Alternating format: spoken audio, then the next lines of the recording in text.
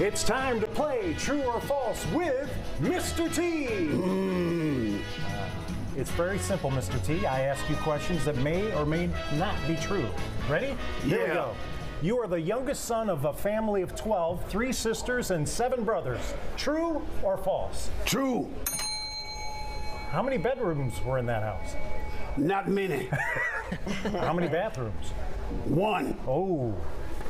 Was there some kind of pecking order? Like who got to go in there first? Oldest first. Otis first. All right. Always. So that's true.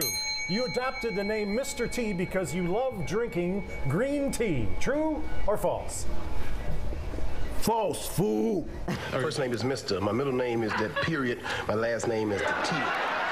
You had a breakfast cereal named after you. True or false? True.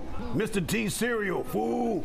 Mm. And what did it taste like, Mr. T? Good. Mm. Of course it did. A lot of vitamins. What happened to that cereal? Can we still get it anywhere? No, ate it all up. You had a home improvement show called I Pity the Tool. True or false? That has to be false. True. Oh, Yes. I pity the tool. It was a short lived series.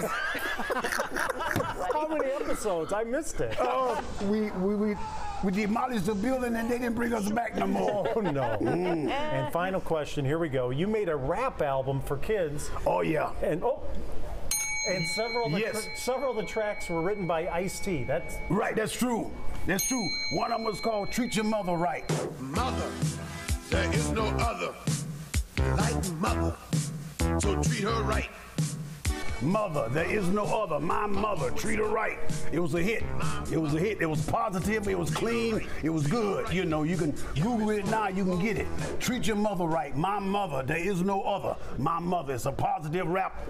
Mm. So remember, when you put down one mother, you put down mothers all over the world. thank you, Mr. T. Thank you, brother.